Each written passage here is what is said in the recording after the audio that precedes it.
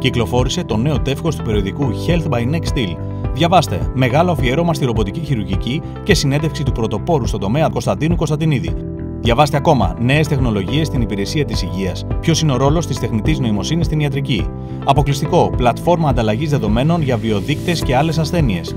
28 νέες θεραπείες εν μέσω πανδημίας. Γιατί δίνουν ελπίδα στους ασθενείς, γιατί είναι νέα όπλα στη φαρέτρα των ειδικών; Συνεντεύξεις Γιώργος Ζαχαρόπουλος, Ιωάννης Λεκάκης, Βαρβάρα Καραγιοζάκη, Δημήτρης Γούμενος και Μέρη Καραγιώργου μιλούν αποκλειστικά στο Health. Γιατί το αντικαρκυνικό νοσοκομείο Μεταξά δίνει ελπίδα ζωής στους καρκινοπαθείς; Διαβάστε ακόμα όλες τις τελευταίες εξελίξεις σε Θεραπευτήριο Υγεία, Ιατρικό Κέντρο Αθηνών, Metropolitan Hospital και Διαγνωστικό Κέντρο Βιοπαθολογίας Medicis στο περιοδικό Health που κυκλοφορεί μαζί με την εφημερίδα Next Deal στα περίπτερα όλης της χώρας.